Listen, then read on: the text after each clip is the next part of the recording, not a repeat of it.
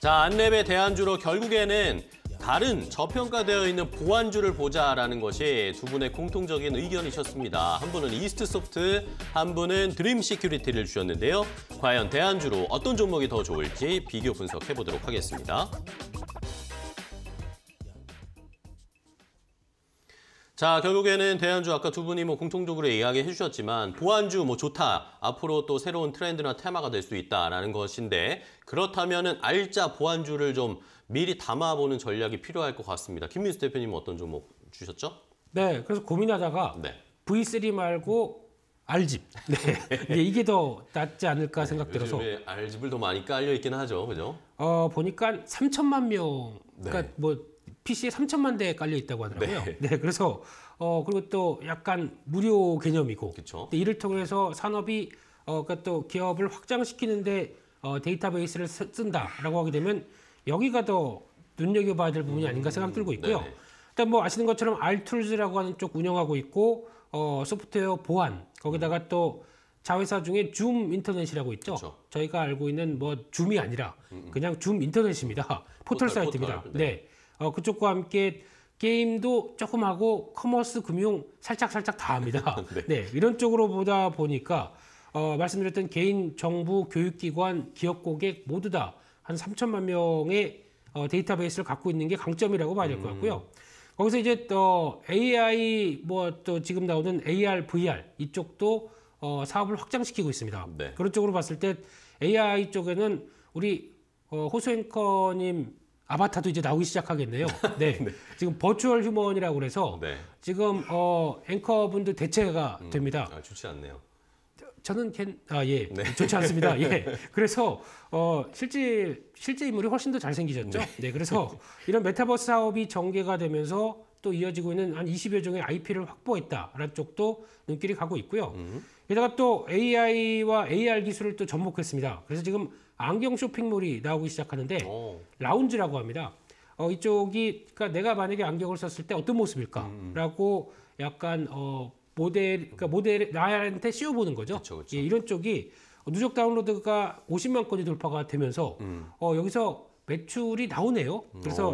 어, 매출이 전년 대비해서 한 세 자릿수 성장, 그러니까 MAU니까 직접 어, 돈을 지불한 고객들이겠죠. 오. 이쪽에 성장하게 되면 이쪽도 눈길이 가고 있고요. 네. 또 자회사 이스트 시큐리티가 있습니다. 이쪽이 거의 핵심이죠. 음, 네, 이 회사가 이제 보안 관련된 쪽에서 지분율 80%가 넘게 갖고 있는데 네. 내년에 상장 예정으로 돼 있고 오. 시총이 2, 3천억 대 정도까지 나올 것이다라고 바라보고 있는데 그렇게 되면 어, 작년 실적은 어떻게 했느냐라고 보게 되면 작년 매출이 한 70%, 아, 7% 이상 증가해서 음. 거의 900억 대 가까이 됐고요. 영업이익 100억 대 그러다 보니까 한 70% 이상 증가하는 오. 실적도 꾸준히 좋아지고 있는데 시총이 1,700억 대 생각보다 그렇게 많이 비싸지는 않다라는 쪽에서 네. 이런 밸류업이 나왔었을 때 나올 수 있는 또 하나의 어, 영역이 아닐까라는 쪽에서 관심이 가고 있습니다. 알겠습니다.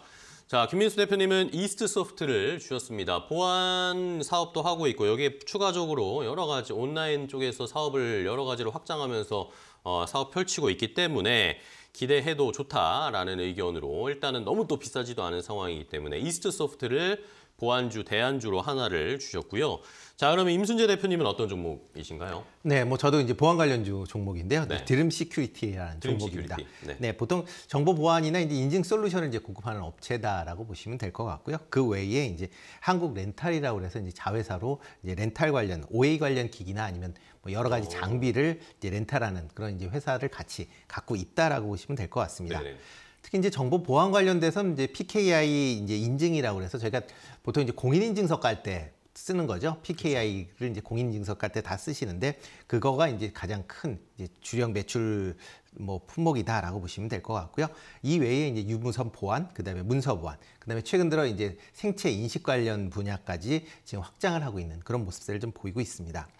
뭐 작년 실적도 뭐 비교적 좋은 그런 실적을 보였고요. 뭐 작년 매출액이 뭐 19% 정도 증가를 했고 영업이익도 16% 정도 증가하는 그런 모습을 보였습니다. 네.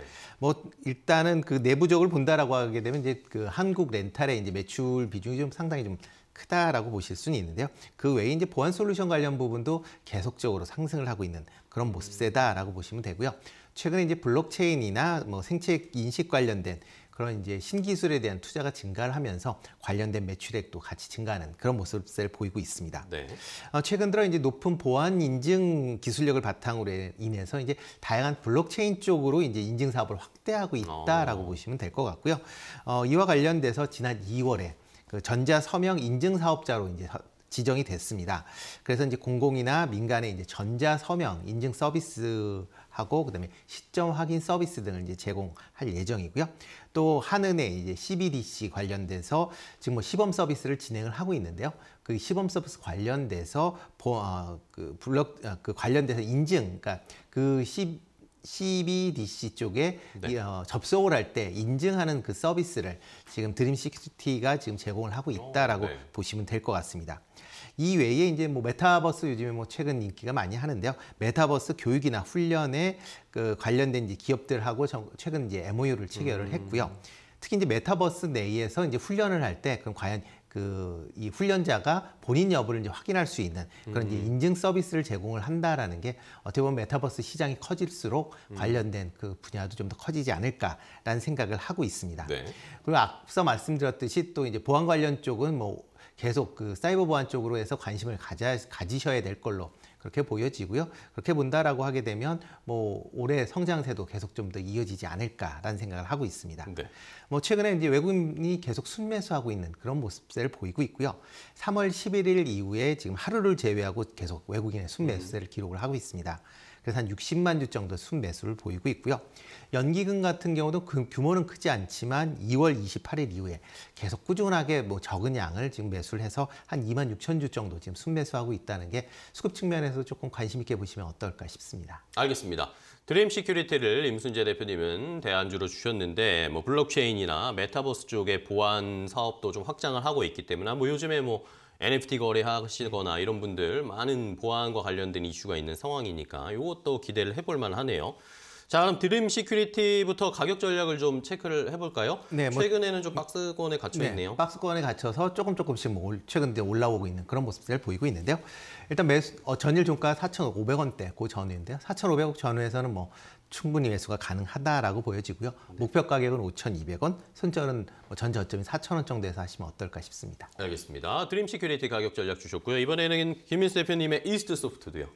네, 어, 최근의 패턴을 보게 되면 저점에서 빨리는 올라옵니다. 네네. 올라오는데 지금 중기 지지권에서 단기 매물 소화하는 과정으로 봐야 될 것 같고요. 네. 확인되게 되면 다음 자리로 들어가지 음. 않나라는 관점 쪽에서 약간 어 14,700원 정도쯤으로 매수가를 말씀드리고 싶고요. 네. 목표가는 1차로 지난번 어, 상단부가 있는 18,000원대 정도로 말씀드리고 싶고요. 손절 또 손절가는 13,700원으로 어, 대응한 전략에 포커스를 맞추겠습니다. 알겠습니다. 이스트 소프트의 가격 전략까지 저희가 제시를 해드렸으니까요.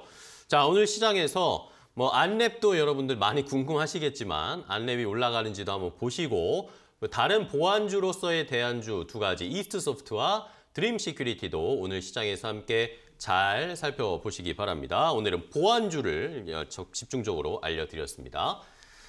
자 오늘 기대해도 괜찮아 여기까지 하도록 하겠습니다. 오늘 두 분과 함께 이야기 나눴는데요. 좋은 종목도 소개해 주셔서 너무 감사하고 다음 시간에 두 분 또 뵙도록 하겠습니다. 고생 많으셨습니다. 고맙습니다.